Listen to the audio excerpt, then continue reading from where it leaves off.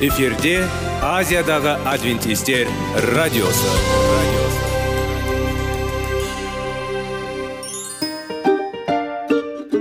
Сәлем достар. Денсаулық өмір бұлағы және біздің бірінші байлығымыз демекші денсаулық сағаты рубрикасына қош келдіңіздер. Біздің рубрикада біз әртүрлі факторларменен мәліметтерменен кеңестерменен бөлісіп шын жүректен сіздердің дендеріңіз сау болғанын қалаймыз. Сол үшін біздің рубрикаға қош келдіңіздер. Дайындалып тұрыңыздар. Өйткені келесі минуттарда қызықты фактілерге ие боласыздар. Енді достар ең бірінші байлығымызды қолымызға алып алға кеттік.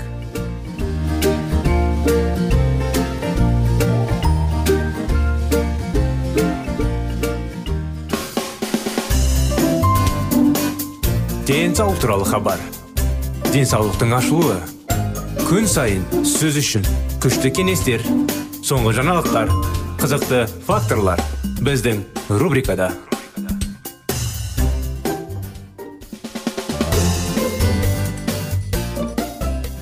Достар армысыздар құрметті тыңдаушыларымыз ассалаумағалейкум денсаулық сағат бағдарламамызға қош келдіңіздер. Сіздер назарларыңызға қытай зерттеулер тақырыбын біз ары қарай жалғастырудамыз. Барлық аутоиммунды аурулар көбінесе онкологиялық ауруларға ұқсайтын механизмдердің бірі тобының дисфункциясының нәтижесі болып табылады. Бұл жағдайда мұндай механизм иммундық жүйе болып табылады. Ол өз денесінің жасушаларына қате шабуыл жасайды.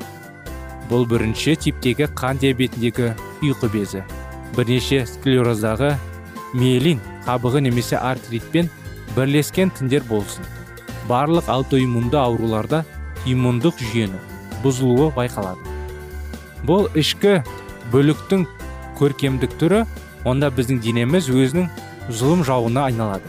Сыртқы қауіптен қорғауға арналған иммунитет иммундық жүйе таңқаларлық күрделі.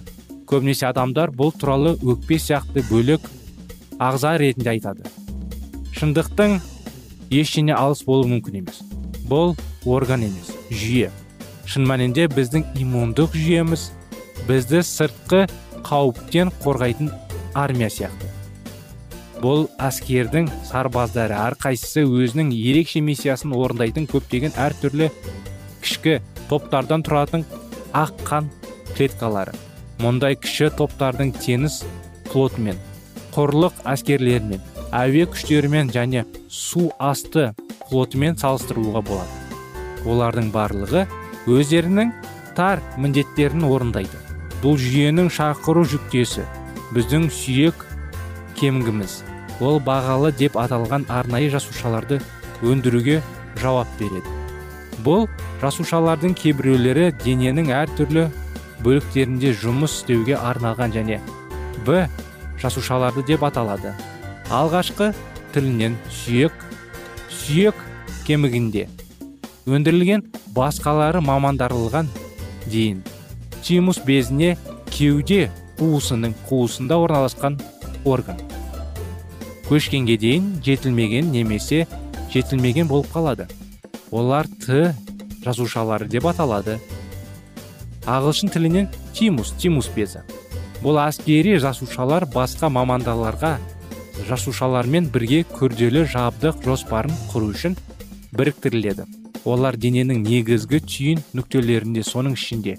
Көк бауырларда сол жақ көмегі қабырғалардың артында орналасқан және лимфа түйіндерінде кездеседі. Бұл қиылысу нүктелері бұл басқару және бақылау орталықтары онда әскери жасушалар сыртқы басқыншыларға шабуыл жасау үшін командаларға қайта топтастырылған. Бұл жасушалар командаларға топтастырылған кезде керемет бейімделге қабілетті. Олар әртүрлі жағдайлар мен сыртқы заттарға тіпті ешқандай бұрын кездестірілмеген заттарға да жауап бере алады. Иммундық жүйенің осы сыртқы жауларға реакциясы керемет шығармашылық. Бұл табиғаттың нағыз ғажайыптарының бірі. Сыртқы жаулар антигендер деп аталатын ақауыз молекулалар. Бұл шетелдік жасушалар дененің тұтастығы бұзуға тырысатын бактериялар немесе вирустар болуы мүмкін. Сондықтан біздің иммундық жүйеміз бөгде жасушаларды немесе антигендерді байқаған кезде оларды бұзады. Шетелдік антигендердің әрқайсысы ақауыз молекулаларының құрамындағы аминақышқылдарының ерекше әсерінен әр адамның жеке тұлғасы сияқты жеке болады. Ақауыздар әртүрлі аминақышқылдардың көмегімен қалыптастырылдықтан мұндай тұлғалардың сансыз вариациялары пайда болуы мүмкін. Антигендерге қарсы тұру үшін біздің иммундық жүйеміз әр шабуыл үшін жеке қорған жоспарын жасау керек. Ол мұны әр қарсыласты құрайтын ақауыздың нақты көшірмесін жасау арқылы жасайды. Бұл дәл көшірме антиген оны еніп оны бұзады. Осылайша иммундық жүйе кез келген бетке әсер етеді. Алғашқы шабуылдан кейін ол осы бетті көрген сайын ол жауды ұстап алып оны жою үшін арнайы жасалған құйманы қолданады. Бұл құйма антидене жасушасы немесе т жасушасына негізделген рецепторлық ақауыз болуы мүмкін.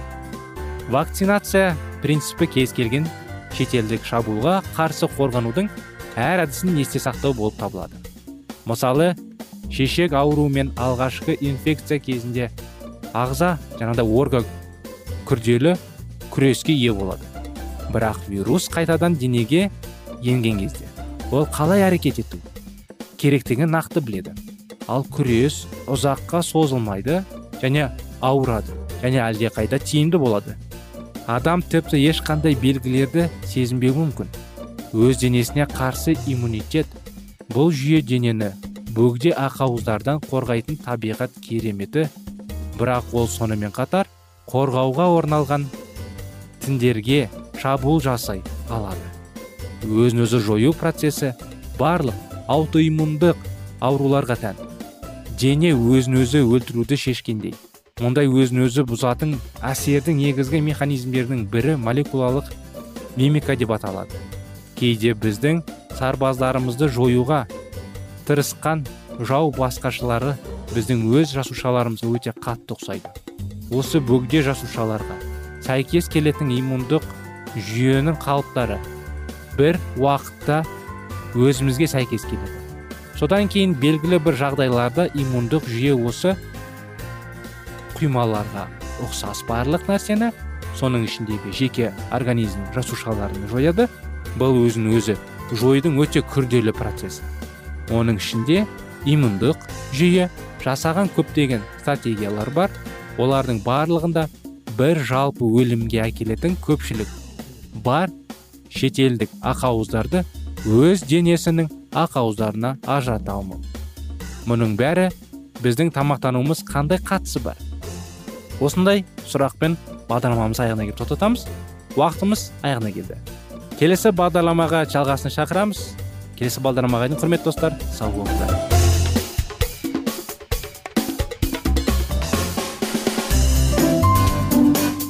Денсаулық туралы хабар. Денсаулықтың ашылуы. Күн сайын сөз үшін күшті кеңестер соңғы жаңалықтар қызықты факторлар біздің рубрикада.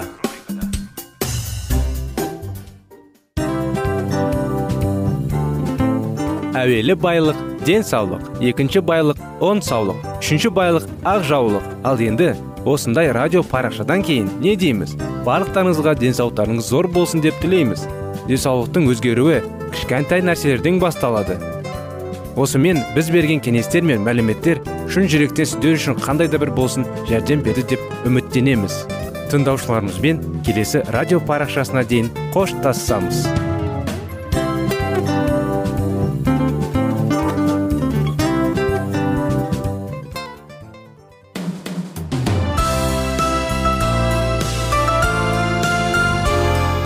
эфирде азиядағы адвентистер радиосы.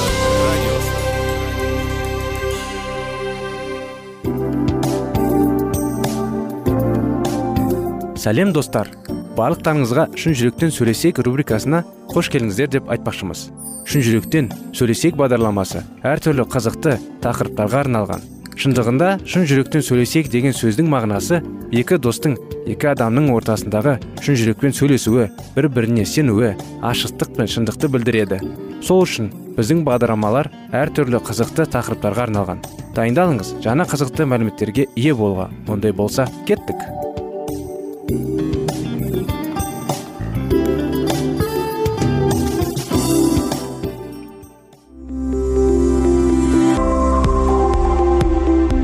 Алтын сөздер. Сырласу қарым қатынас жайлы кеңестер мен қызықты тақырыптар. Шын жүректен сөйлесейік рубрикасында.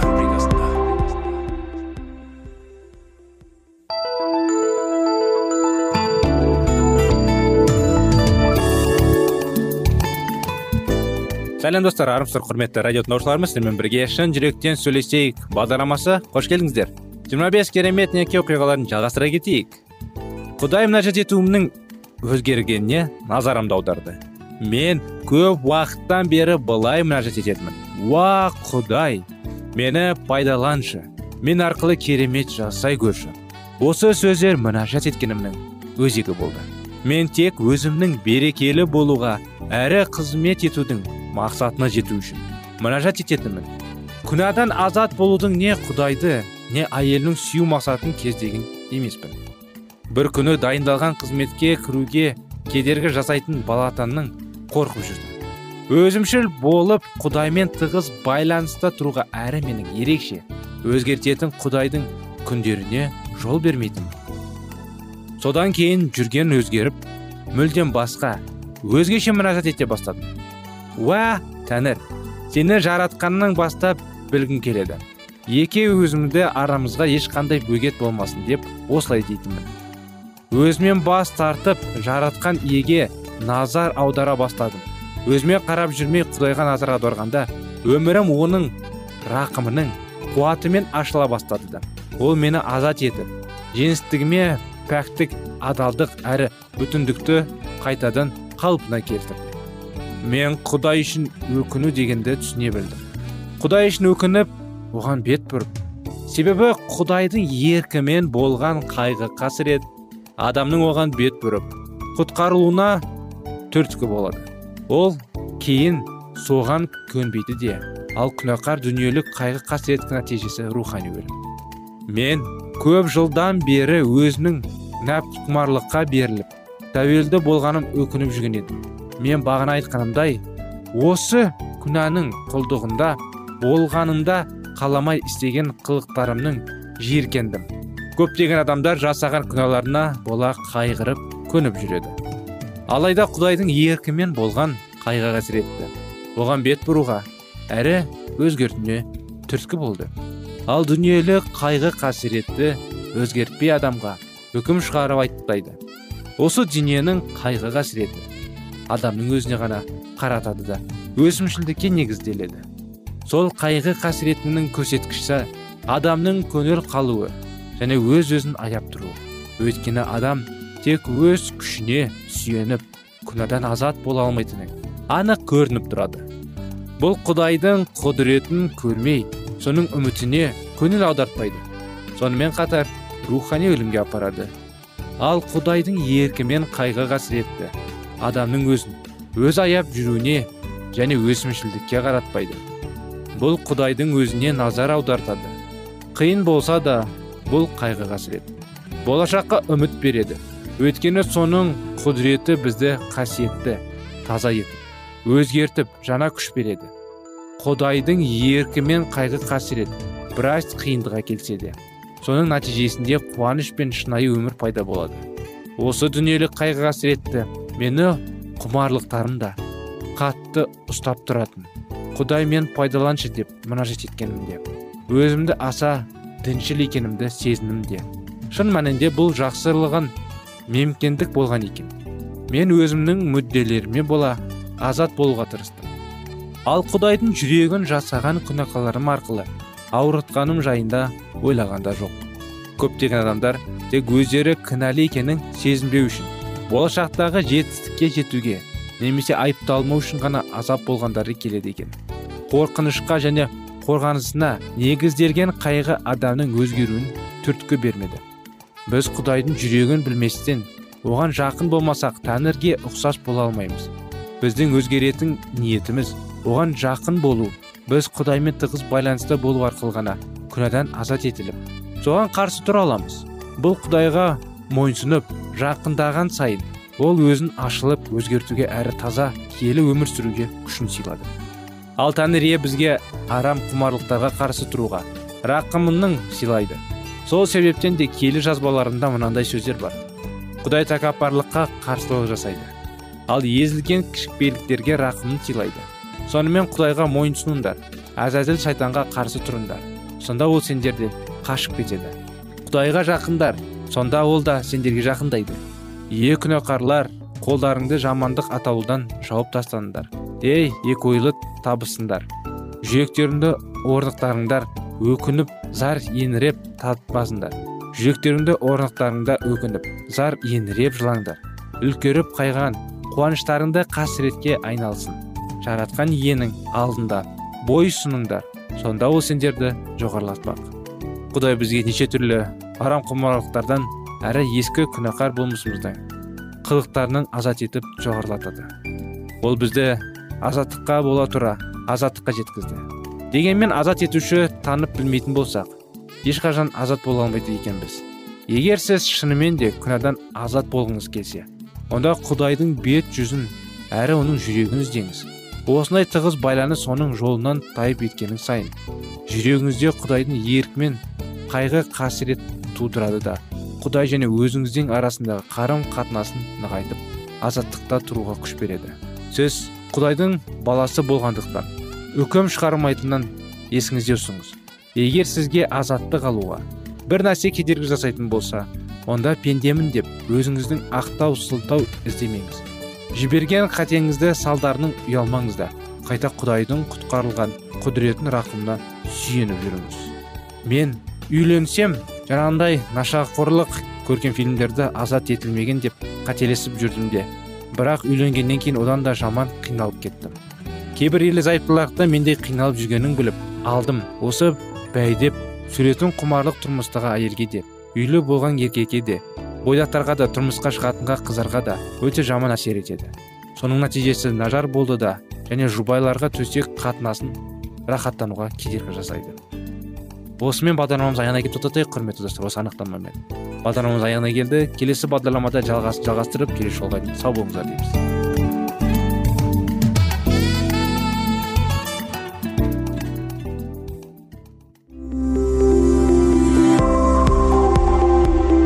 Алтын сөздер. Сырласу. Қарым қатынас жайлы кеңестер мен қызықты тақырыптар. Шын жүректен сөйлесейік рубрикасында.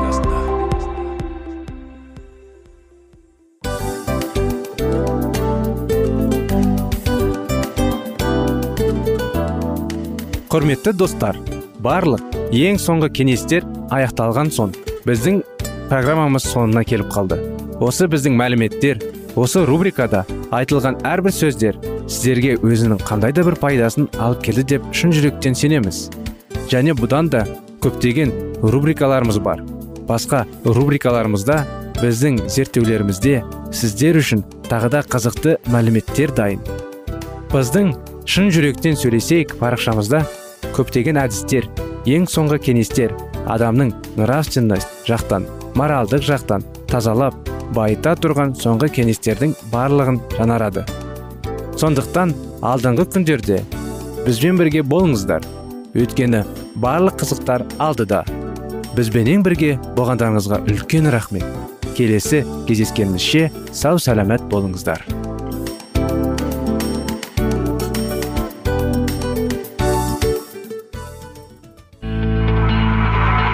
Дүниеңді байытқан жүрегіңді жаңғыртқан өмірдің мағынасын ойландырған рухани жаңғыру рубрикасы.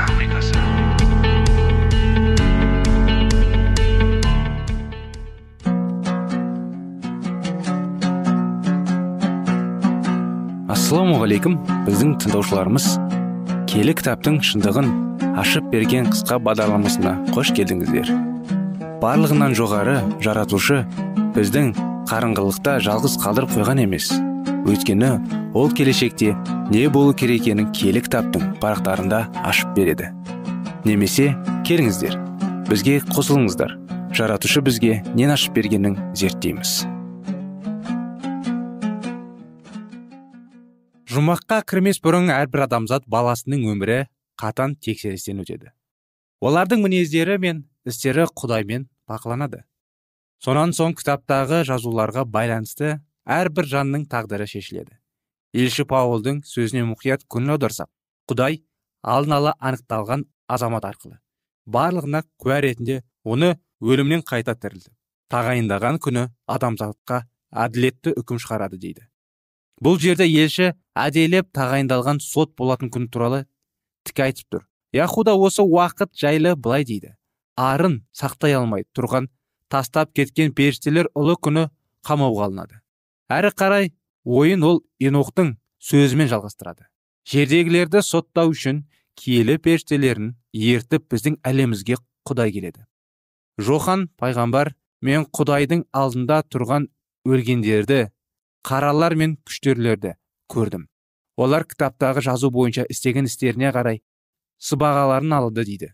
Егер өлгендердің бірі көкте қуанып жатса енді біреулер дозақта қиналып жатса онда соттың қажеті қанша? Осы сұрақтарға байланысты киелі жазбада берілген ілімді қарапайымдардың өздері де түсінеді. Сондай қалайша салмақты да ойшыл адамдардың осы қарапайым ақиқатты түсіне алмайтынын таң қаласын. Сот аяқталғаннан кейін жақсы менің сенімді қызметкерлерім иелерінің қуанышына кіріңдер дейді раббым алла. Ал егер де тақуалар онсыз ақ көкте болатын болса онда аспаннан шығып оған қайта кірудің қажеті қанша? Сол секілді зұлымдар дозақ отында өртеніп жатса онда оларды дозақтың бұрыш бұрышынан жинап алып қайта дозаққа жіберудің не керегі бар? Қандай масқара мазақ десеңші? Құдай сөзін жаратқаннан қорықпастан бұрмалайтындардың орнын қайда болатының белгілі. Адамның жаны ешқашан өлмейді деген теория римнің пұтқа табынушылардың қабылдап алған ілімі. Мартин лютер бұл ілімді римнің қаулаларын құрап тұрған үйіліп тұрған қоқыспен бірдей қисынсыз ертегілері деп айтады. Сүлеймен патшаның сөзін қайталай отыра лютер моладағылардың жағдайы жайлы данышпан патшаның айтып қалдырған сөзі. Адамдардың өлгеннен кейін ештеңені сезбейтінін тағы да бір дәлелі деп жазады. Ол жерде жауапкершілік те білім де ғылым да даналық та жоқ. Өлгендер күн санамайды бірақ қайта тірілген кезде қанша уақыт өтсе де оларға бір сәт қана өткендей болып көрінеді. Келік тапта қайтыс болған тақуалар сол заматта аспанға бара қалады. Ал зұлымдар бірден дозаққа аттанады деген сөз жоқ. Бабаларымыз бен пайғамбарлар олай айтқан емес. Олай ойлауға мәсіх пен оның елшілері де ешқандай себеп қалдырған жоқ. Өлгендер тірілу жексенбесіне дейін ұйықтайды. Күміс шынжыр үзіліп алтын бау ажырап қалғанда адамның санасы жоғалады. Көрдің құшағында жатқандар тыныштыққа болады. Күннің астында не болып жатқанын олар сезбейді. Шаршаған әділеттілер үшін бұл рахат демалыс.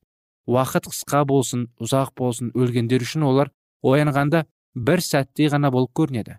Соңғы күні құдайдың кернеуінің дабылы оларды оятады. Қазіргі құрып шіритін тәндеріміз ешқашан жойылмайтын денелермен алмастады. Бұл жүзеге асып құритын нәрселер мәңгілік нәрселермен алмасқан шақта пайғамбарлар жазбаларындағы жеңіс ажалды жояды. Деген уәде орындалады. Әділеттілер терең ұйқыдан оянып қай жерде өмірлері үзілсе сол жерде оны әрі қарай жалғастырады. Ақырғы ойларымен көрдің құшағына кетіп бара жатқандарын сезінсе оянғаннан кейінгі ойлары ажал сенің ұлтың қайда? Дозақ сенің жеңісің қайда? деген қуанышты әнмен жалғасады. Расул алла оларға мәңгілік өмірді сыйға тартады. отыз төртінші тарау. Аруақтар тірілермен тілдесе ме? Құдай сөзінде жазылған киелі періштелердің адамзат баласы үшін жасайтын қызметі исаның ізбасарлары үшін бағалы ақиқат болып табылады. Кен тараған теология бойынша киелі жазба бұрмаланып адамдарға басқаша ұсынылады. Пұтқа табынушылардың философияның алынған адамның жаны өлмейді деген ілім мәсіхшілердің сенімдеріне ұлы шегінушілік көзінде еніп ақиқаттың орнын алған. Сондықтан көпшілік жұрт адамға көрмек ретінде жіберілетін қызметші рухтарды яғни періштелерді өлгендердің рухы деп есептейді. Киелі кітапта анық жазылған куәгерлерге қарамастан мұндай ұғым періштелердің барына және олардың өлгенге дейін адамдармен қарым қатынаста болатынына қарама қайшы келіп тұр. Адам өлгеннен кейін санасын жоғалтпайды және олардың рухы тірілге қызмет етеді деген жалған ілім мәсіхшілер әлемінде мықты бекіп алып спиритизмге сиқыршылыққа жол ашып берді.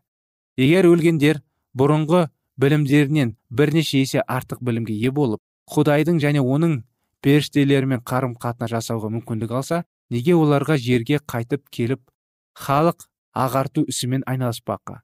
Келі жазба бізге айқын анықтамалар беріп тұрғанға қарамастан ақты қарадан ажырата алмайтын көкірегі соқырлар өте көп. Осылайша шайтан өзінің пиғылын іске асырап жатыр. Ол өзінің жындарын рухани әлемнен келген хабаршылар ретінде адамдарға жұмсайды. Зұлымдық рухтары өлгендермен қарым қатынас жасауға болады деп жұрттың санасын уландыра отырып оларды осы өтіріктеріне иландырады. Ібілістің өлгестерінің бейнесін киіп келіп сол бейнемен адамдарға көріне алатын күші бар. Ол тек сырт пішінін ғана келтіріп қоймай даусын сөйлеп мәнерін жүріс тұрысында да келтіре алады. Осылайша адамдар шайтанмен қарым қатынасқа түскендерін байқамай да қалады. Өлгендер өздерінің көкте қандай бақытты екенін және соншалықты даңқ пен атаққа ие болғандары жайлы ата бастайды.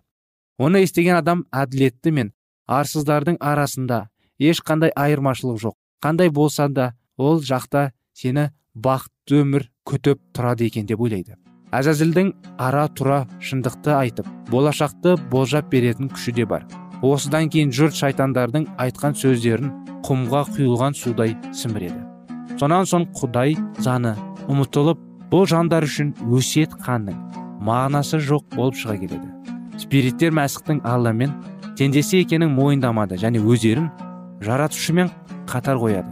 Осылайша ұлы көтеріліші өзінің көкте бастаған шайқасын міне алатын мың жылды жер бетінде жалғастырып келеді.